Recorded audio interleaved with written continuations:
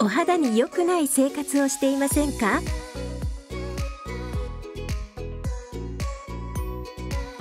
座り仕事が多い。湯船に入らずシャワーで済ませがち。そんなあなたにお悩み解消のアドバイス。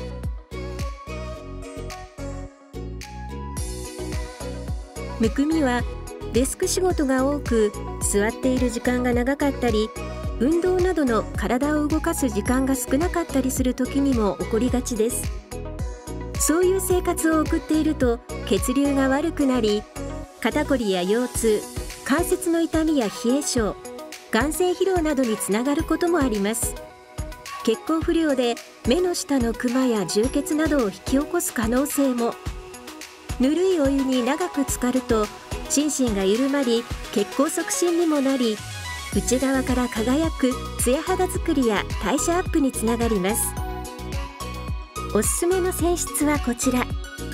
炭酸ガスが溶け込んだ二酸化炭素泉はぬるめのお湯が多く長くじっくりと浸かることができるのが嬉しい温泉です。炭酸ガスが血行を良くしてくれぬるめのお湯でも体はよく温まります。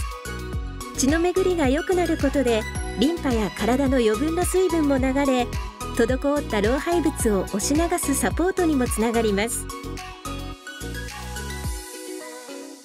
飯南町トンバラにある源泉かけ流しの日帰り炭酸泉温泉施設。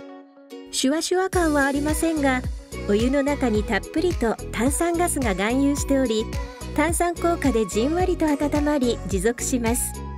貸切風呂は温度の違う2つの湯船があり一つは今では珍しい五右衛門風呂タイプ。加温した温泉と冷たい源泉の交互浴が楽しめます。手すりがついたスロープタイプの貸し切りもあります。